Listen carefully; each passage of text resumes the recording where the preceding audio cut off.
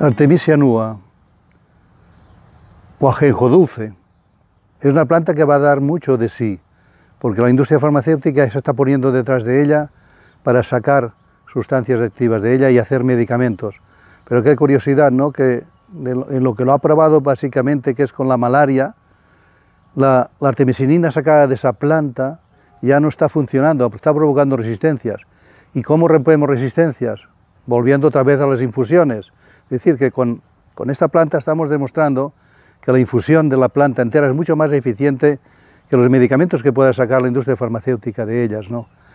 Pero claro, con el tiempo hemos visto que no solo sirve para la malaria, para psoriasis, para enfermedades autoinmunes, pero también para subir el sistema inmune, porque es una inmunomoduladora, por eso en África se utiliza también para evitar los retrovirales, porque no pueden pagarlos, utilizan para el SIDA, utilizan infusiones de esa planta, más moringa, ¿no?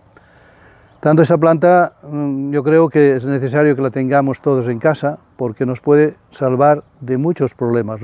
Los estudios son infinitos, buscarlo en los buscadores médicos PubMed, poniendo Artemisia annua. ¿no?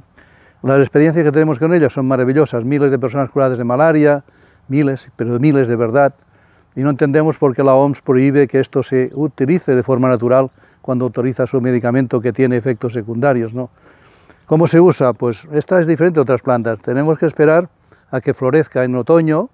Cuando empiezan a salir las flores se corta y se secan, porque si, lo dejamos que esas flores acaben en fruto, debilitarán las hojas de donde sale la propiedad básica de esa planta. ¿no? Eh, cultivarla pues con semilla, pero ahora en estos momentos mejor sería plantarla ya. Cualquier vivero que la encontréis, ahora la Artemisa nua es mejor plantarla así para ganar tiempo, porque si no no se desarrollaría lo suficiente para octubre cortarla. ¿no? Creo que es necesario que tengáis esa planta en casa para todo eso que os he dicho antes, ¿no? subir nuestro sistema inmune, que evita resfriados. Es amarga, pero es un amargo agradable. Os recomiendo su cultivo, Artemisia nua, en casa, en vuestro balcón, en vuestro huerto, en vuestro jardín. Si es en casa, coged una maceta grande porque se va a desarrollar bastante y por tanto es una planta agradecida porque con una planta prácticamente vais a tener para toda la familia.